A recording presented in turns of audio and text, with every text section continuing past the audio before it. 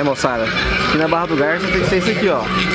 Cristalzinha, raiz, cervejinha raiz, só o Nutelinha aí, ó, tomando raio. Ninguém aguenta essa ressaca de cristal, não. Aguenta, especialmente nos australianos.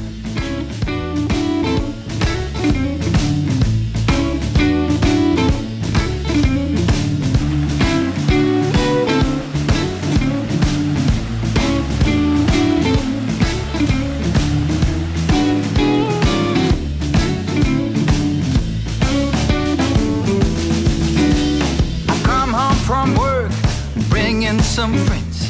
Why did such a thing make you uptight and tense? You're high strung, babe. You're high strung, babe.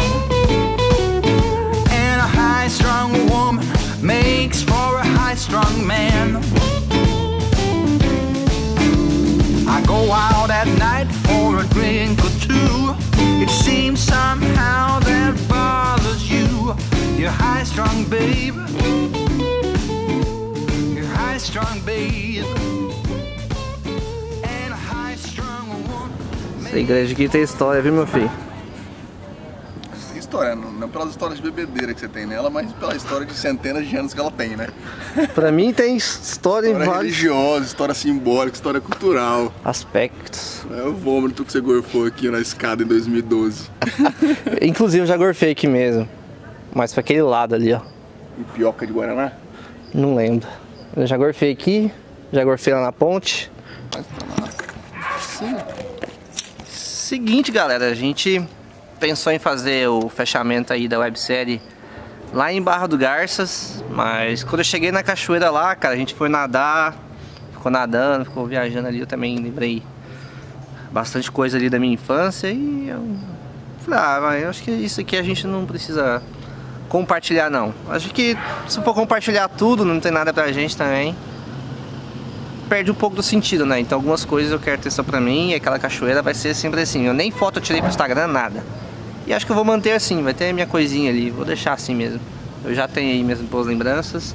Mas o que importa agora é que a expedição acabou, cara. E primeiro de tudo, se você assistiu todos os episódios, já vou agradecer aí por estar acompanhando essa websérie pelo Brasil. E todo mundo deve saber que Goiás Velho já foi capital de Goiás. Acho. Foi, foi. começo, acho que é o começo da colonização de Goiás, tenho certeza que é o começo, mas tem história com franceses aqui, século 17. Então super legal isso. Foi a capital de Goiás até 1930 e pouco, quando mudou para Goiânia.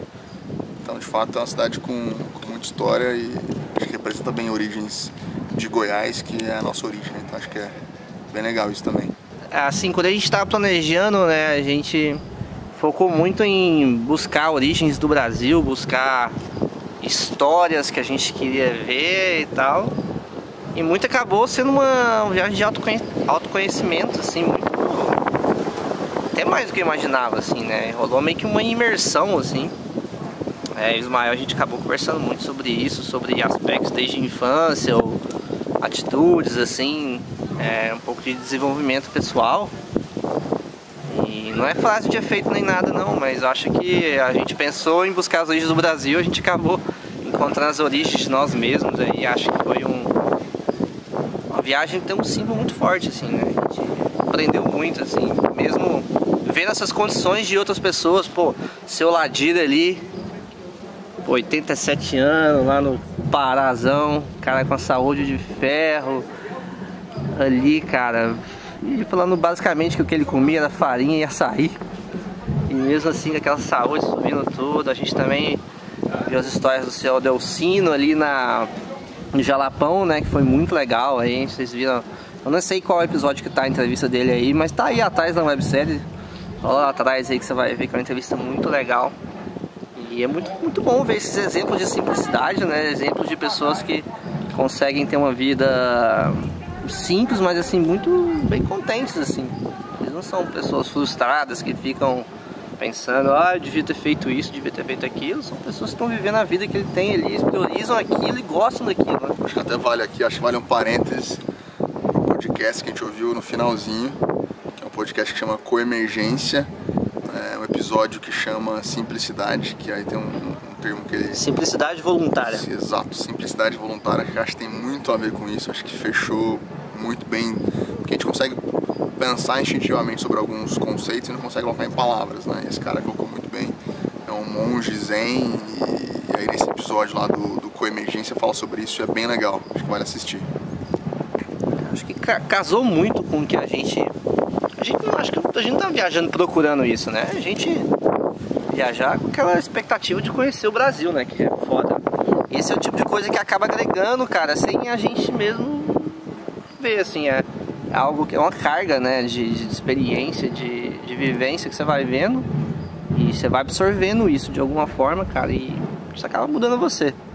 Então, se algum dia de sua vida aí você tiver essa oportunidade de viajar pelo Brasil, pra esses lugares aí, pô, recomendo demais. Até porque a gente não consegue passar muitas coisas que a gente vive. A gente filma as coisas que a gente acha que é essencial, mas muita coisa se passa. A gente não tem bateria, não tem câmera, ou às vezes não tá nem na vibe de sair enfiando a câmera na- no rosto de todo mundo, né? Algo que flui, cara. Algo que flui depois a gente tenta construir uma história disso aí, né? Essa aí eu não sei se vai ser a, a, a última participação do Ismael, acho que não, né? Porque a gente é amigo já há muito tempo, vira e mexe apareceu uma coisinha ou outra aí, mas desse volume aí, talvez. Ó, Mas sobre outra coisa, acho que é, muitas coisas não são documentáveis, né? É o que tá passando dentro da gente, assim. Então, não é só porque ah, tal lugar é bonito, é muito legal, porque teve uma conversa super legal que dá pra transmitir, porque é, a gente tenta, mas né, às vezes não dá, né? Porque é simplesmente uma reflexão que tá acontecendo no carro quando a gente dirige. Se jogar foi, foi super legal, assim, tá aberto e se deixar fragilizar em alguns momentos pra conseguir repensar e refletir. Bem legal. E provavelmente vão ter outras expedições, ah, outras viagens, né? Acho que eu quero ter esse canal assim, até de uma forma um pouco mais. Não quero só ficar fazendo turismo, quero falar também de sentimentos, quero falar de, de coisas que realmente mudam durante uma viagem, porque acho que isso é mais importante do que qualquer destino turístico. Como você assimila aquilo, como você absorve, depois como você transmite a ideia sobre cada lugar, né? Eu acho que isso é fundamental. A gente ficou devendo uma coisa, que a gente ia fazer tatuagem durante a viagem. Era uma obrigação, ó, claro, mas a gente pensou sobre. É, mas ele não rolou naturalmente também, a gente não quis forçar. É, foi estilo ayahuasca, né? Exatamente, como ayahuasca, assim. Até rolou a vontade lá no- com, índios, lá em Alter. Mas ele não tava fazendo, né? Tem uma data lá que ele faz cerimônias até. Lua cheia. Comprei uma pulseirinha, duas pulseirinhas eu comprei aqui, ó. Lençóis Maranhenses e Alter, promessa de voltar nesses dois lugares. Lençóis para fazer o trekking lá de cinco dias e, e Alter para pra ver Alter na seca, para ver as praias e, e pra cerimônia de ayahuasca também. Essa foi a viagem mais longa que eu já fiz na vida, né? 40 dias. Nem é tanto tempo assim, é um pouco mais que umas férias de 30 dias. Foi super intenso. É, Cada dia, na verdade, um negócio muito louco que aconteceu nas Fazem Guimarães aconteceu outras vezes. A gente fazia uma coisa de manhã, depois outra coisa à tarde. Quando a gente acabava de fazer o que a gente fez à tarde, parecia que o que a gente fez de manhã fazia tanto tempo que era outro dia, porque era muito intenso. Era, cara. Então, os 40 dias valeram por não sei quantos de viagem comum, porque a gente não ficou é, perdendo tempo, tempo, entre aspas. A gente, às vezes a gente ficou de boa, quando a gente, quando a gente decidiu ficar de boa. Que é mas- raro quando a gente tava é, acabado, né? A gente não procrastinou as coisas, a gente tava É. com, muita energia, a gente fez várias coisas, foi super legal. Aí tem até a discussão de fast travel e slow travel, que fica para outro momento, mas foi super intenso. Um negócio que me, aju- me ajudou muito foi escrever o diário. Eu, eu tô atrasado, na verdade nem terminei ainda, mas eu pelo menos fiz os highlights no celular ali enquanto as coisas aconteciam, para lembrar do sentimento. Acho que depois, quando você vê a foto, lembrar do que você sentiu é muito legal. É, uma outra coisa legal também que eu consegui me aprofundar bem mais em meditação. Então eu meditei quase todos os dias e isso foi muito, muito, muito legal. Com certeza vai ser uma coisa que vai me ajudar para sempre. Então, experiência fenomenal. Obrigadão aí. Você é irmão, cara. você sabe. Obrigadão. Foda. Se eu tivesse vindo sozinho, com certeza não teria sido a mesma coisa. Então, tamo pra sempre. É Te nóis, cara. Também. Cara, isso é um, um bagulho também. Vim aí de dois anos viajando sozinho, né? E acho que eu fiquei até um pouco inseguro, assim. Porra, viajar a parada inteira desse cara, a gente vai se matar na primeira semana. Isso porque eu já conheço ele há 25 anos. Eu falei, não, isso Ismael a gente se. vai dar certo, né? Mas ainda tinha aquele, aquele 5% lá, uma hora a gente vai brigar, vai dar alguma coisa. Porque é isso que acontece, né, geralmente, em viagens assim, onde você tá. Às vezes mais teve, uma, teve alguma treta, não teve nem treta, cara. Ah, Teve uma discussão lá quando você tava chapado. É nada demais. Uma DRzinha. DR, cara, a gente tava tendo umas. A gente tava tendo umas DR assim que a menina até achou que a gente era casal, olha. Comportamento de casado, cara, que foda, cara. Mas é isso, né, cara? A gente, a gente entrou de cabeça, assim, conseguiu atingir os objetivos aí de cada um também. Eu foquei muito mais aqui no YouTube. Então vi muita gente até reclamando. Não reclamando, né? Mas falando, pô, você compartilhava mais a nossa expedição. Mas nessa eu queria focar um pouco mais aqui no YouTube e, cara, não dá pra você fazer tudo, senão você fica louco, você não vive a viagem.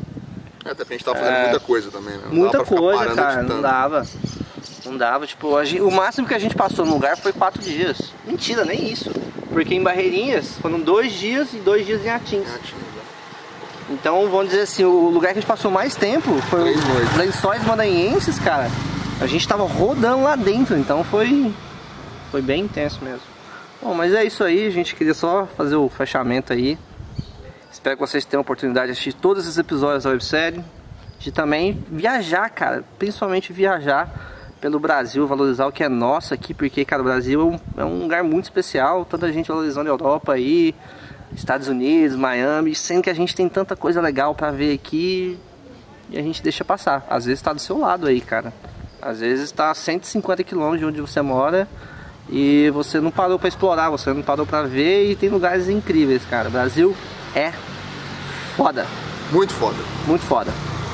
Fechou? Então, obrigado pra todo mundo aí. Valeu. Um abraço e até a próxima websérie. Vamos finalizar aqui com a igrejinha no fundo, olha lá. Coisa bonita! Um abraço, galera. Uh!